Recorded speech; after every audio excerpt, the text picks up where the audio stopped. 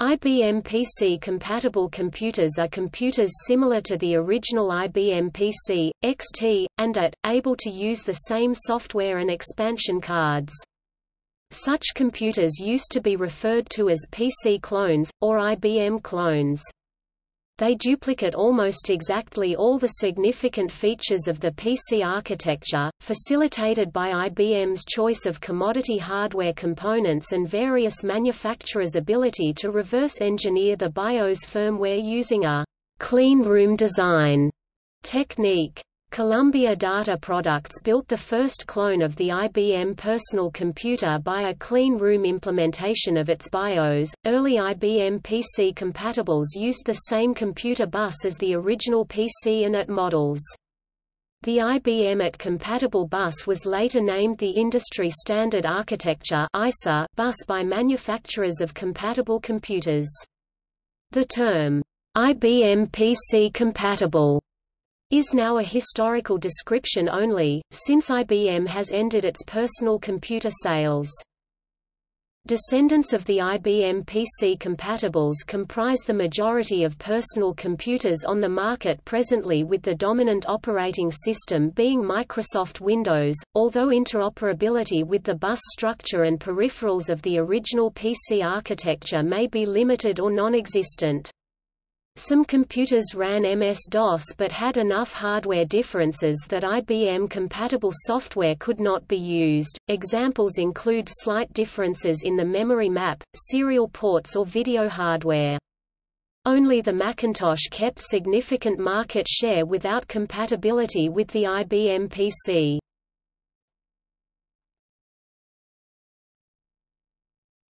Topic: Origins IBM decided in 1980 to market a low-cost single-user computer as quickly as possible in response to Apple Computer's success in the burgeoning microcomputer market.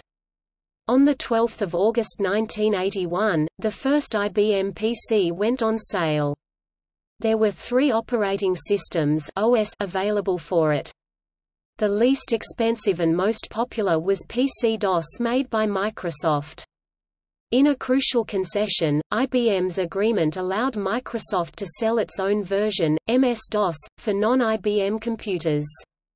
The only component of the original PC architecture exclusive to IBM was the BIOS basic input-output system.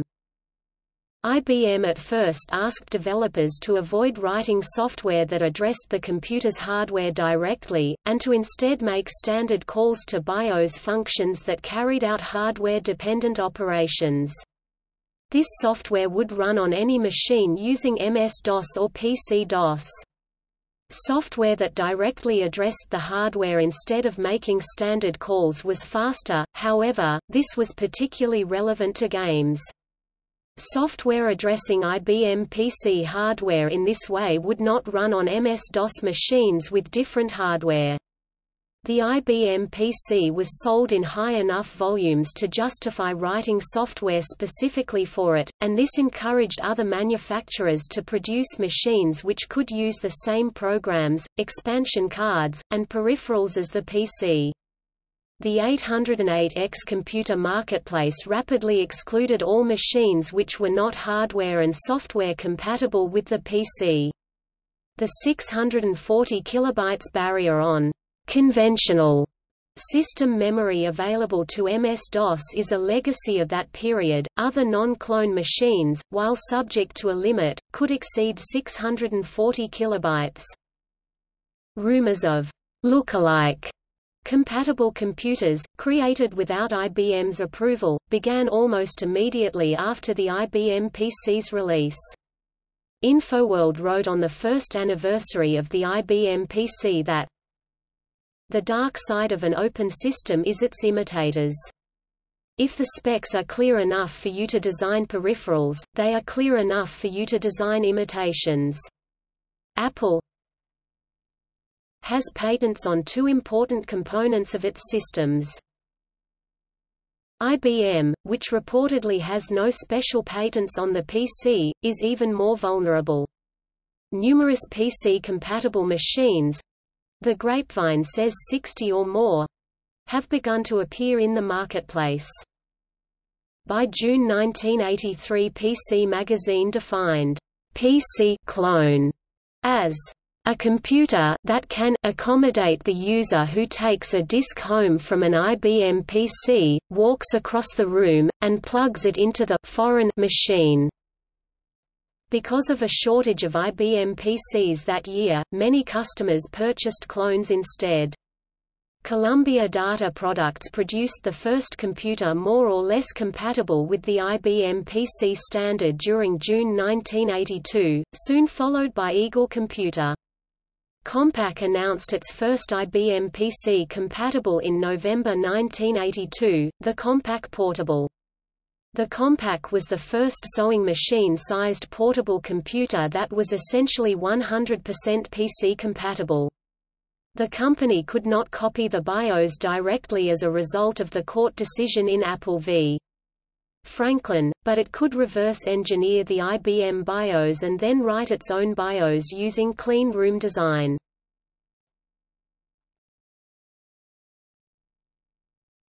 Topic: Compatibility issues.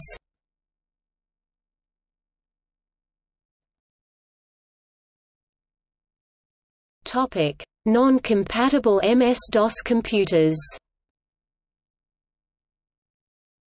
At the same time, many manufacturers such as Tandy, RadioShack, Xerox, Hewlett-Packard, Digital Equipment Corporation, Sanyo, Texas Instruments, Tulip, Wang and Olivetti introduced personal computers that supported MS-DOS, but were not completely software or hardware compatible with the IBM PC.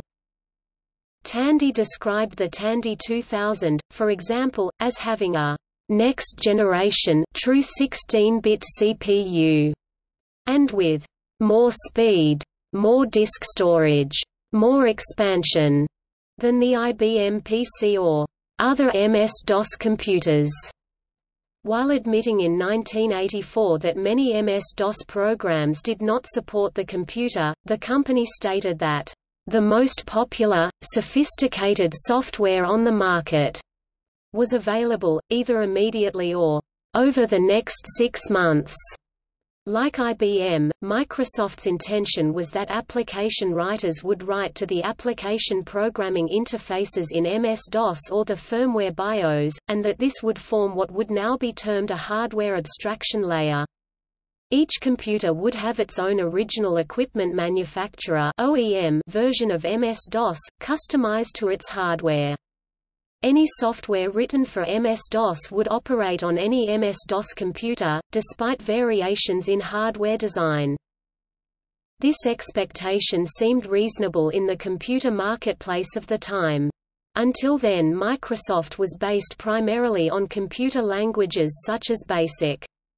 The established small system operating software was CP/M from Digital Research which was in use both at the hobbyist level and by the more professional of those using microcomputers. To achieve such widespread use, and thus make the product viable economically, the OS had to operate across a range of machines from different vendors that had widely varying hardware. Those customers who needed other applications than the starter programs could reasonably expect publishers to offer their products for a variety of computers, on suitable media for each. Microsoft's competing OS was intended initially to operate on a similar varied spectrum of hardware, although all based on the 8086 processor. Thus, MS-DOS was for several years sold only as an OEM product. There was no Microsoft-branded MS-DOS, MS-DOS could not be purchased directly from Microsoft, and each OEM release was packaged with the trade dress of the given PC vendor. Malfunctions were to be reported to the OEM, not to Microsoft. However, as machines that were compatible with IBM hardware—thus supporting direct calls to the hardware, became widespread, it soon became clear that the OEM versions of MS-DOS were virtually identical, except perhaps for the provision of a few utility programs. MS-DOS provided adequate functionality for character-oriented applications such as those that could have been implemented on a text-only terminal. Had the bulk of commercially important software been of this nature, low-level hardware compatibility might not have mattered. However, in order to provide maximum performance and leverage hardware features or work around hardware bugs, PC applications quickly developed beyond the simple terminal applications that MS-DOS supported directly. Spreadsheets, WYSIWYG word processors, presentation software and remote communication software established new markets that exploited the PC's strengths, but required capabilities beyond what MS-DOS provided.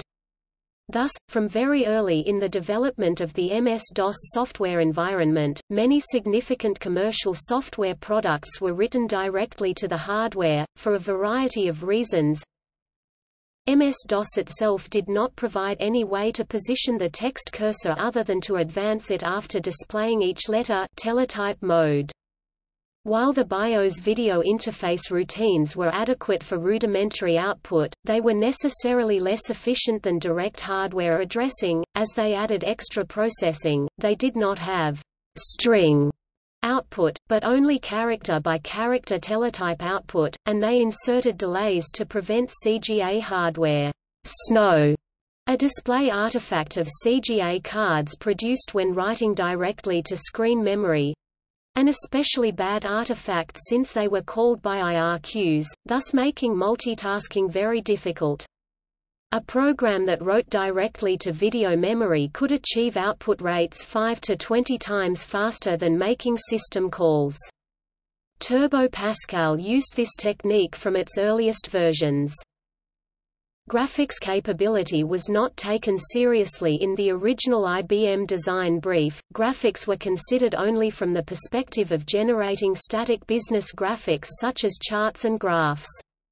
MS-DOS did not have an API for graphics, and the BIOS only included the rudimentary graphics functions such as changing screen modes and plotting single points. To make a BIOS call for every point drawn or modified increased overhead considerably, making the BIOS interface notoriously slow.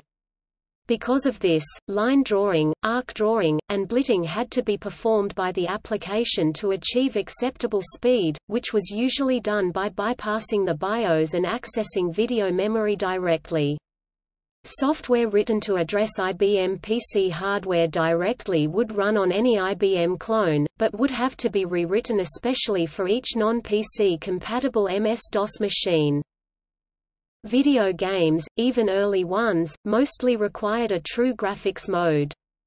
They also performed any machine-dependent trick the programmers could think of in order to gain speed.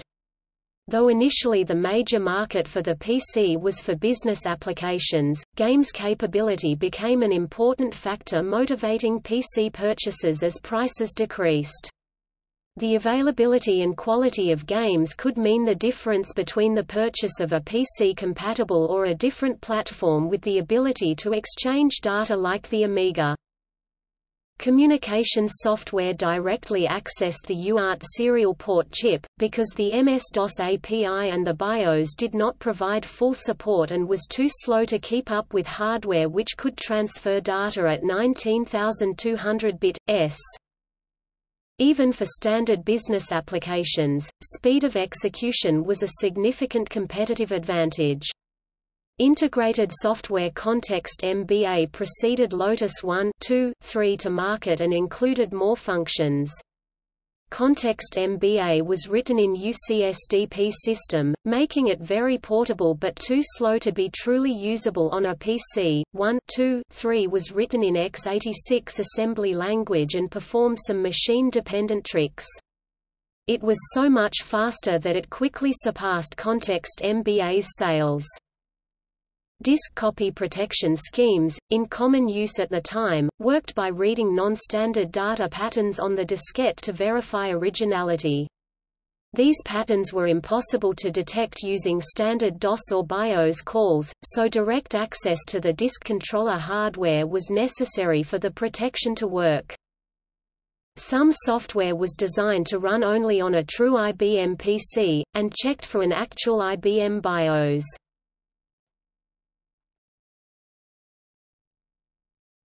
Topic: Operationally compatible In May 1983, Future Computing defined four levels of compatibility Operationally compatible. Can run the top-selling IBM PC software, use PC expansion boards, and read and write PC disks. Has complementary features like portability or lower price that distinguish computer from the PC, which is sold in the same store.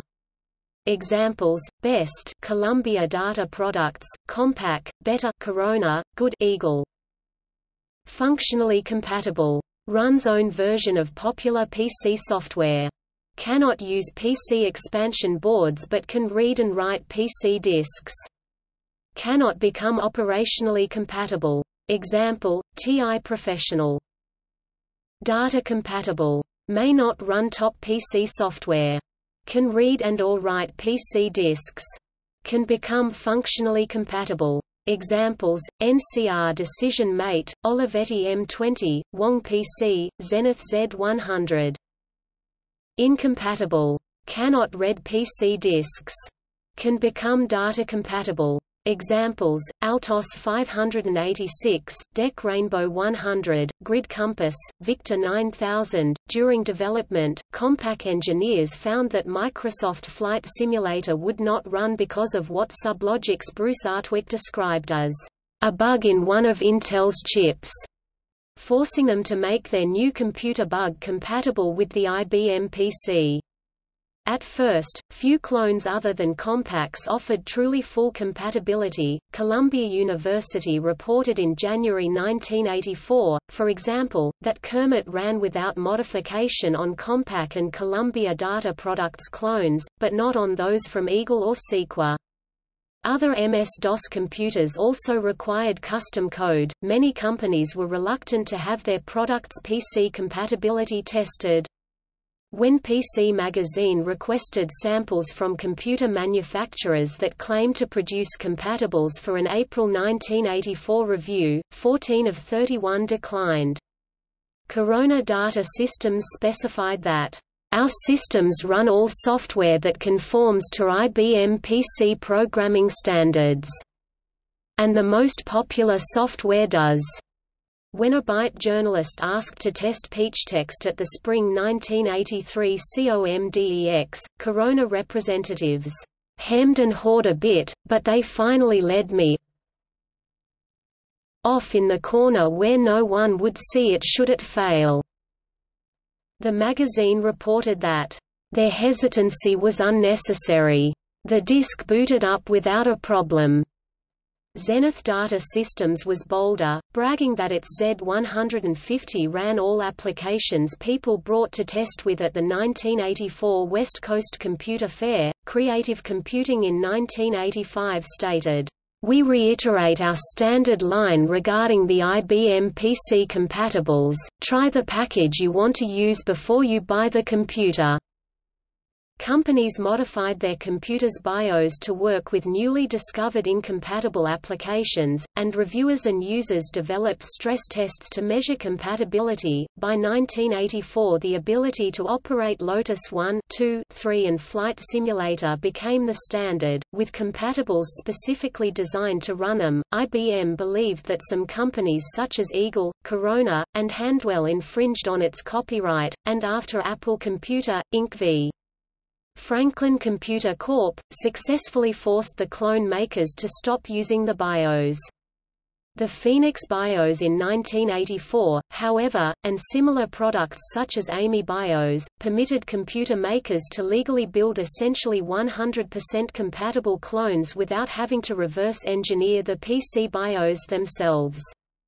A September 1985 InfoWorld chart listed seven compatibles with 256 KB RAM, two disk drives, and monochrome monitors for $1,495 to $2,320, while the equivalent IBM PC cost $2,820.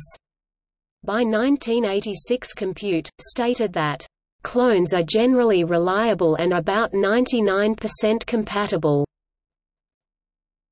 Topic the decreasing influence of IBM In February 1984, Byte wrote that IBM's burgeoning influence in the PC community is stifling innovation because so many other companies are mimicking Big Blue, but as the market grew IBM's influence diminished.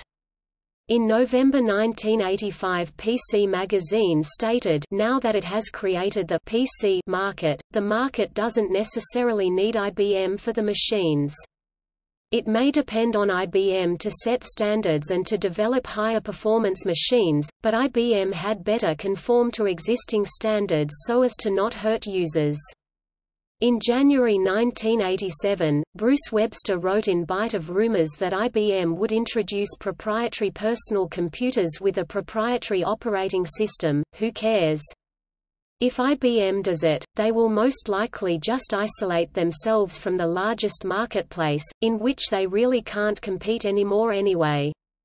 The magazine predicted that in 1987 the market will complete its transition from an IBM standard to an Intel per Mega Siemens DOS, expansion bus standard.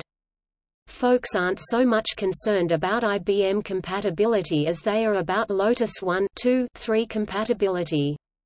By 1992 Macworld stated that because of clones, IBM lost control of its own market and became a minor player with its own technology. After IBM announced the OS/2-oriented PS2 line in early 1987, sales of existing DOS-compatible PC compatibles rose, in part because the proprietary operating system was not available.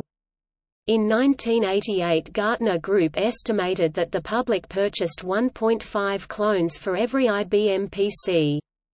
By 1989 Compaq was so influential that industry executives spoke of Compaq compatible, with observers stating that customers saw the company as IBM's equal. After 1987, IBM PC compatibles dominated both the home and business markets of commodity computers, with other notable alternative architectures being used in niche markets, like the Macintosh computers offered by Apple Inc. and used mainly for desktop publishing at the time time, the aging 8-bit Commodore 64 which was selling for $150 by this time and became the world's best-selling computer, the 32-bit Commodore Amiga line used for television and video production and the 32-bit Atari ST used by the music industry. However, IBM itself lost the main role in the market for IBM PC compatibles by 1990. A few events in retrospect are important. IBM designed the PC with an open architecture which permitted clone makers to use freely available non-proprietary components. Microsoft included a clause in its contract with IBM which permitted the sale of the finished PC operating system PC-DOS to other computer manufacturers. These IBM competitors licensed it, as MS-DOS, in order to offer PC compatibility for less cost. The 1982 introduction of the Compaq Portable, the first 100% IBM PC-compatible computer, providing portability unavailable from IBM at the time. An independent business unit IBU within IBM developed the IBM PC and XT. IBUs did not share in corporate R&D expense. After the IBU became the Entry Systems division it lost this benefit, greatly decreasing margins. The availability by 1986 of sub $1,000 Turbo XT PCXT compatibles, including early offerings from Dell Computer, reducing demand for IBM's models. It was possible to buy two of these generic systems for less than the cost of one IBM-branded PC/AT, and many companies did just that. Compaq beating IBM to market during 1986 with Compaq Deskpro 386, the first 80386-based PC. IBM's 1987 introduction of the incompatible and proprietary Micro Channel architecture MCA computer bus, for its personal system, 2 PS2 line. The 1988 introduction by the Gang of Nine companies of a rival bus, extended industry standard architecture, intended to compete with, rather than copy, MCA. The dualing expanded memory (EMS) and extended memory (XMS) standards of the late 1980s, both developed without input from IBM. Despite popularity of its ThinkPad set of laptop PCs, IBM finally relinquished its role as a consumer PC manufacturer during April 2005, when it sold its laptop and desktop PC divisions to Lenovo for $1.75 billion. As of October 2007, Hewlett-Packard and Dell have the largest shares of the PC market in North America. They are also successful overseas, with Acer, Lenovo, and Toshiba also notable. Worldwide, a huge number of PCs are white box systems assembled by myriad local systems builders. Despite advances of computer technology, all current IBM PC compatibles remain very much compatible with the original IBM PC computers, although most of the components implement the compatibility in special backward compatibility modes used only during a system boot. It is often more practical to run old software on a modern system using an emulator rather than relying on these features. In 2014 Lenovo acquired IBM's x86-based server business for $2.1 billion.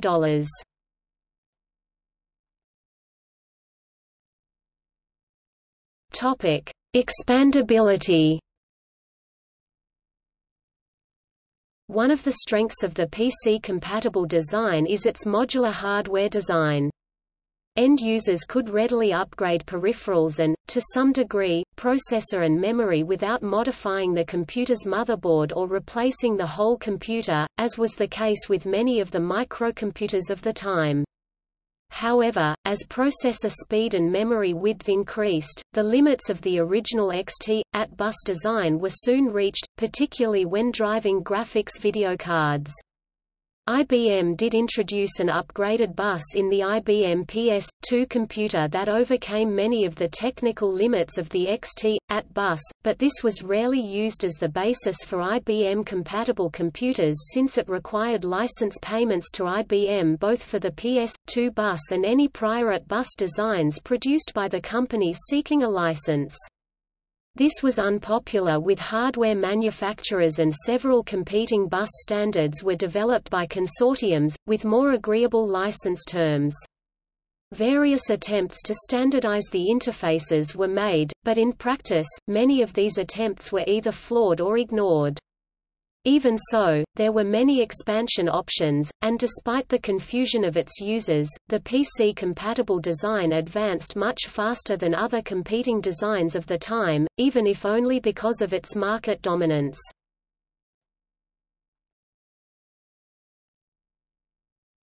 Topic: IBM PC compatible becomes Wintel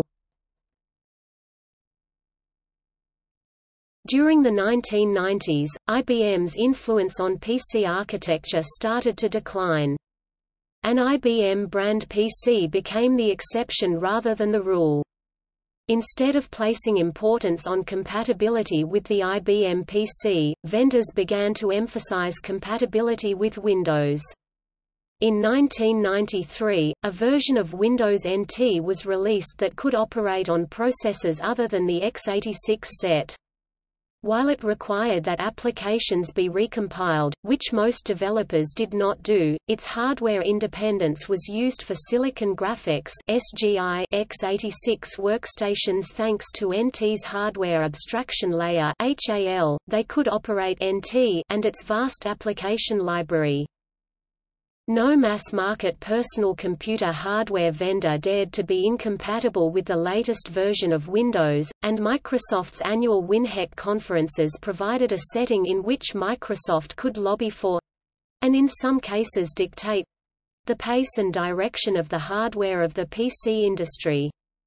Microsoft and Intel had become so important to the ongoing development of PC hardware that industry writers began using the word Wintel to refer to the combined hardware-software system. This terminology itself is becoming a misnomer, as Intel has lost absolute control over the direction of x86 hardware development with AMD's AMD 64. Also, non-Windows operating systems like MacOS and Linux have established a presence on the x86 architecture.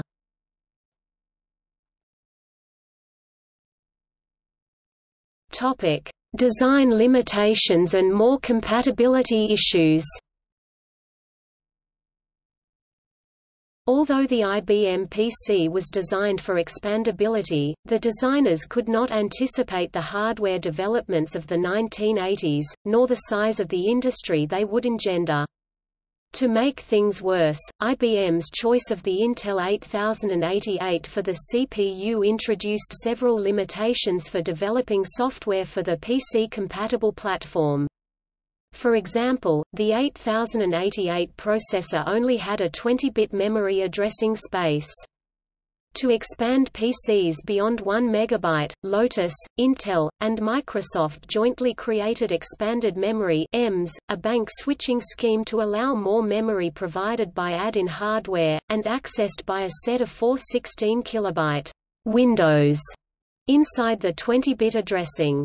Later, Intel CPUs had larger address spaces and could directly address 16 megabytes MIBS 80286 or more, causing Microsoft to develop extended memory XMS which did not require additional hardware. Expanded and extended Memory have incompatible interfaces, so anyone writing software that used more than 1 megabyte had to provide for both systems for the greatest compatibility until MS-DOS began including EMM 386, which simulated EMS memory using XMS memory. A protected mode OS can also be written for the 80286, but DOS application compatibility was more difficult than expected, not only because most DOS applications accessed the hardware directly, bypassing BIOS routines intended to ensure compatibility, but also that most BIOS requests were made by the first 32 interrupt vectors, which were marked as reserved for protected mode processor exceptions by Intel. Video cards suffered from their own incompatibilities. There was no standard interface for using higher resolution SVGA graphics modes supported by later video cards. Each manufacturer developed their own methods of accessing the screen memory, including different mode numberings and different bank switching arrangements. The latter were used to address large images within a single 64 kilobyte segment of memory. Previously, the VGA standard had used planar video memory arrangements to the same effect, but this did not easily extend to the greater color depths and higher resolutions offered by SVGA adapters. An attempt at creating a standard named VESA BIOS Extensions was made, but not all manufacturers used it. When the 386 was introduced, again a protected mode OS could be written for it. This time, DOS compatibility was much easier because of Virtual 8086 mode.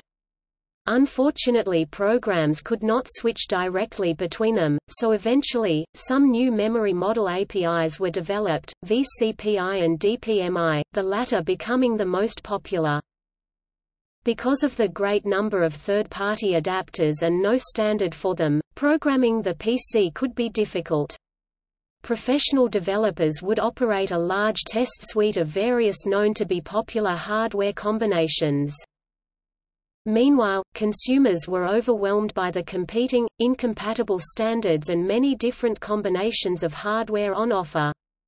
To give them some idea of what sort of PC they would need to operate their software, the Multimedia PC MPC standard was set during 1990. A PC that met the minimum MPC standard could be marketed with the MPC logo, giving consumers an easy-to-understand specification to look for. Software that could operate on the most minimally MPC-compliant PC would be guaranteed to operate on any MPC. The MPC Level 2 and MPC Level 3 standards were set later, but the term, MPC compliant, never became popular. After MPC Level 3 during 1996, no further MPC standards were established.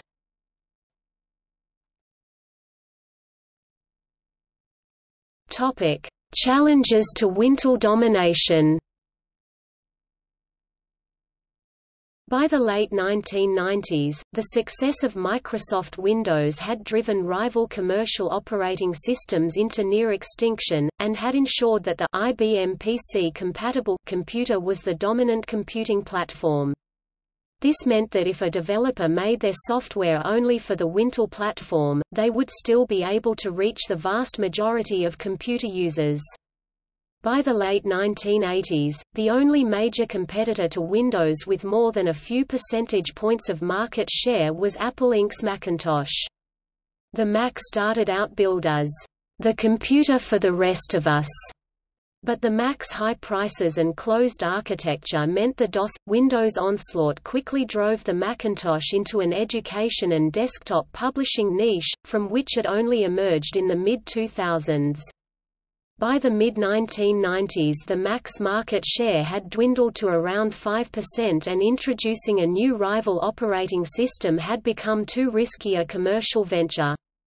Experience had shown that even if an operating system was technically superior to Windows, it would be a failure in the market BeOS and OS/2 for example. In 1989 Steve Jobs said of his new NeXT system, it will either be the last new hardware platform to succeed, or the first to fail.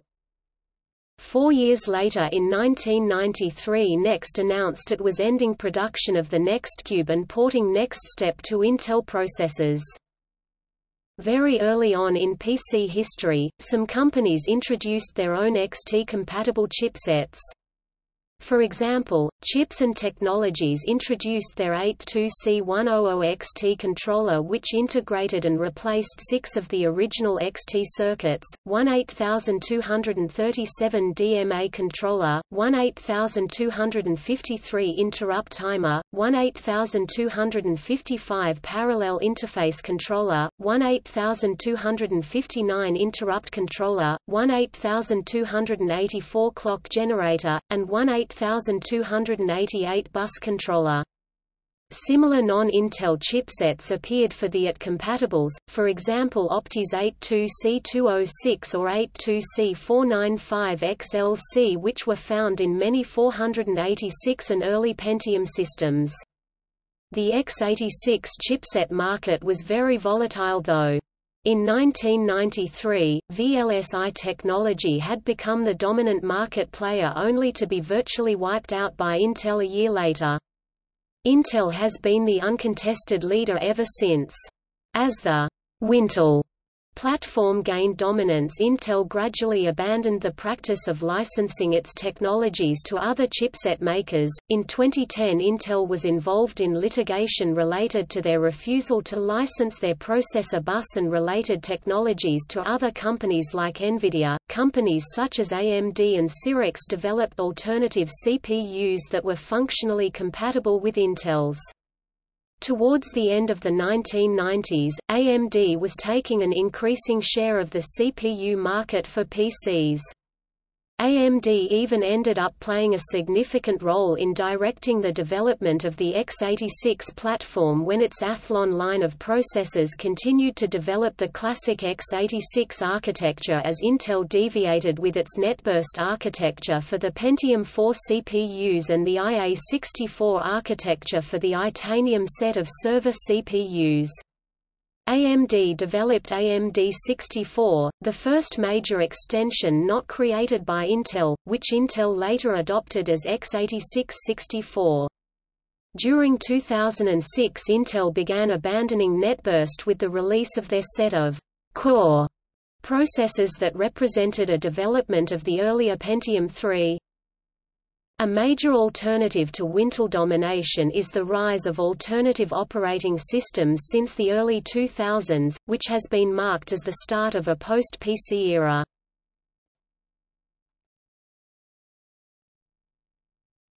The IBM PC compatible today The term, IBM PC compatible is not commonly used presently because all current mainstream desktop and laptop computers are based on the PC architecture, and IBM no longer makes PCs. The competing hardware architectures have either been discontinued or, like the Amiga, have been relegated to niche, enthusiast markets.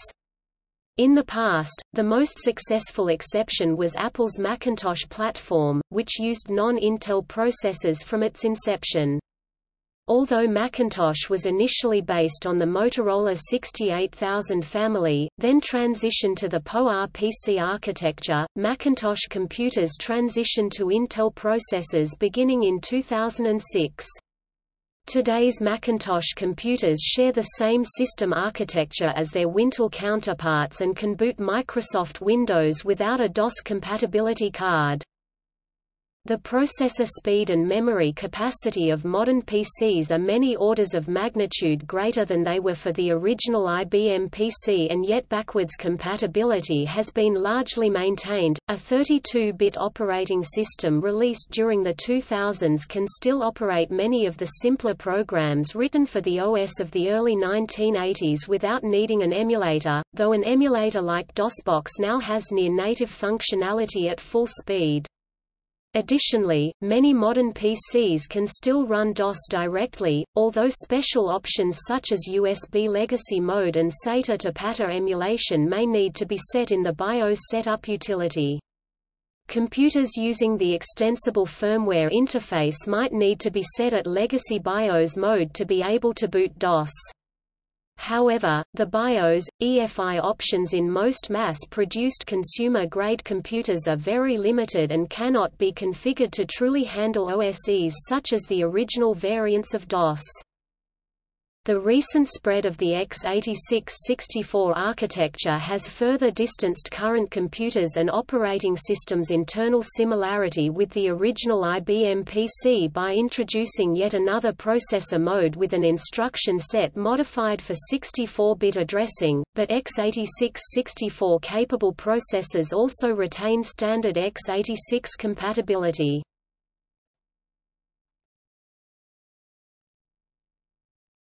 Topic. See also AT form factor ATX form factor Baby AT form factor Computer hardware Computer software Computing platform Custom-built PC History of computing hardware 1960s present Home-built computer IBM Personal Computer Influence of the IBM PC on the personal computer market PC speaker Personal computer x86 architecture MS-DOS CP, M PS2 successor released by IBM that did not succeed, but many of its elements have been adopted by industry PC 9800 series, competing standard. PowerPC Reference Platform Common Hardware Reference Platform, competing standard for PowerPC